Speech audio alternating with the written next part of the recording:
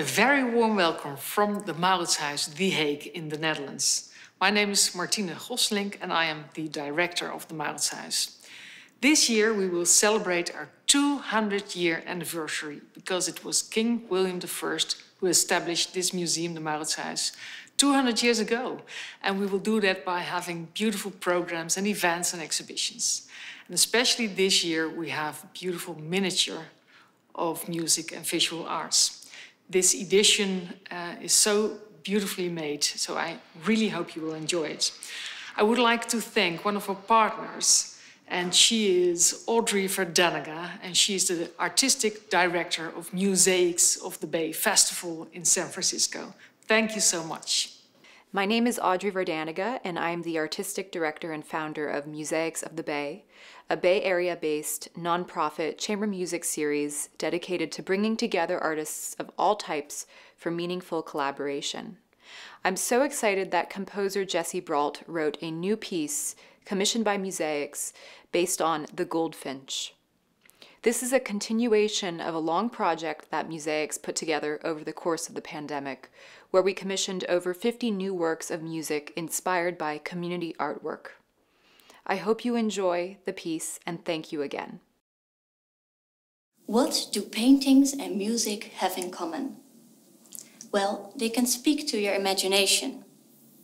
They are capable to seize moments and feelings that are normally not easily grasped. And if you are open for it, they can take you to another time and place. Let me take you to Delft, 1654. The gunpowder magazine blew up, laying waste to a huge part of the city. One of the most talented students of Rembrandt, Carel Fabritius, lost his life in this accident. He was only 32 years old. A lot of paintings by Fabritius got lost as well, that were in Delft or at the studio at the time. Fabritius Goldfinch is one of the few paintings that survived. He captured the little bird in oils, painting its distinctive yellow flesh on his wing and its red face, which has faded over time. He looks at us with his beady eyes, as if he can erupt into his cheerful sang at any moment. It's a real trompe-l'oeil. And there, at the bottom of the painting, we see the artist's name. C. Fabritius, 1654, as if he scratched it into the white plastered wall.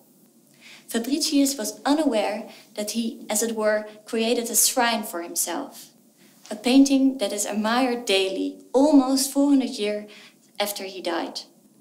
A little songbird that you can find in your garden or in one of the rooms of the Mauritshuis.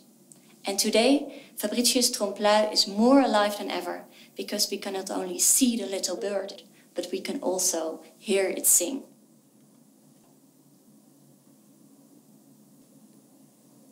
This miniature is all about birds, the use of bird songs in music, and the way it inspires composers.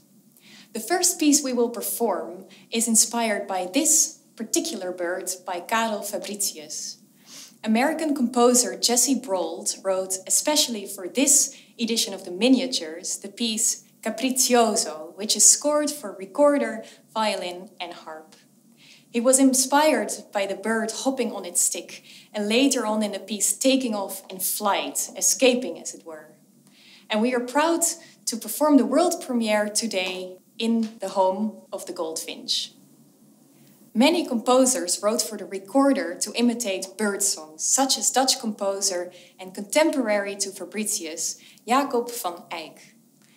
Despite being blind, or even perhaps because of it, he managed to compose a two volume work for solo recorder called Flute's Garden of Delights, published in 1644. Lucie Horsch will perform from this the English Nightingale. Centuries later, Russian composer Igor Stravinsky wrote three pieces for solo clarinet, the third of which Lucy will perform on recorder.